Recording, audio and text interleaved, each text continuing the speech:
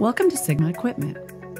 Today's integration project was at the request of a customer to automate the packaging process of their product. This included a combination of five pieces of equipment to help weigh, fill, and package bags of oats.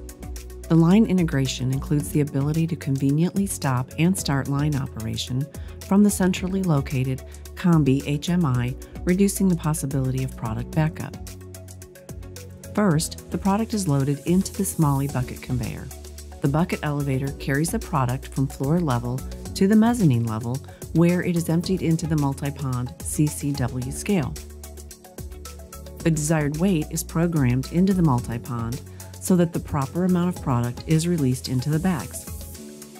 For this project, the weight is 10.5 ounces. The Multipond will drop product into the Bosch vertical form fill and seal bagger.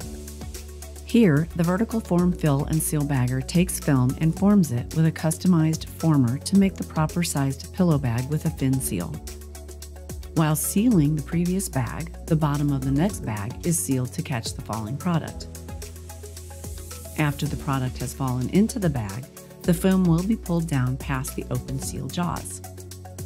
Once the seal jaws seal and cut the top of the bag, it will drop down to the inclined conveyor. The conveyor will then carry the bag up to the Combi ErgoPack system.